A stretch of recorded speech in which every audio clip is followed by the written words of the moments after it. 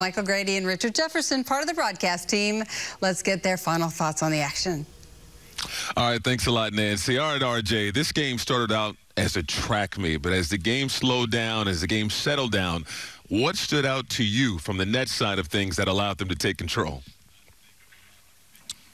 Well, I, I, thought the Nets bench did an amazing job, especially in short stretches uh, when James Harden was off. That's one of the things you worry about when you're shorthanded. No Kyrie, you can't really, you know, have Kyrie on the court and let James get some rest, and vice versa. So when you have James Harden on the floor, you know, you know that the offense is going to be buzzing. But when he was off the floor, the Nets bench did a great job of extending the lead. Actually, at one point in time, forcing Portland to call a timeout. So I really love what the Nets bench did tonight. Got great contributions. Blake Griffin, so many guys gave something. Tyler Johnson knocking down shots. So it was just a quality team win for the Brooklyn Nets. I'm going to get to some of the role players in a moment, but how about James Harden? We didn't know if he was going to play in this game until about 25 minutes before the tip, and he missed some shots late, but 25 points dished out, 17 assists. What can you say about his performance? 17 assists, man, like that, that's just so impressive. Like, you know that this team is shorthanded, and there is a reason why people have him in the MVP conversation.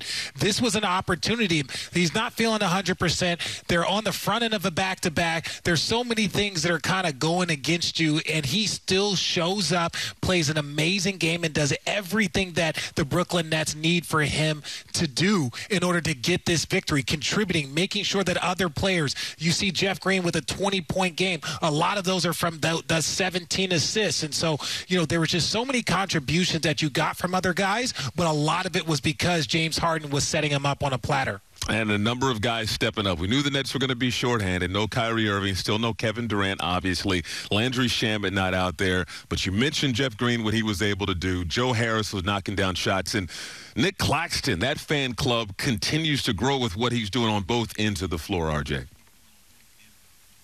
Yeah, like I, I said it in the open. Like I know that the Nets fans were sad to see Jarrett Allen leave, but you know when one thing goes, something else shows up, and when you see Claxton play, it's with similar intensity. It's with similar joy. He runs the floor. He blocks shots. He does all the little things. Now look, he is still a young player and has a ton of room for growth. But if you are a part of that fan club, you're going to be a part of his fan club. It's a tough back-to-back. You get a victory against Portland, then you make your way to Salt Lake City for a matchup with the Jazz. Your early thoughts on that matchup?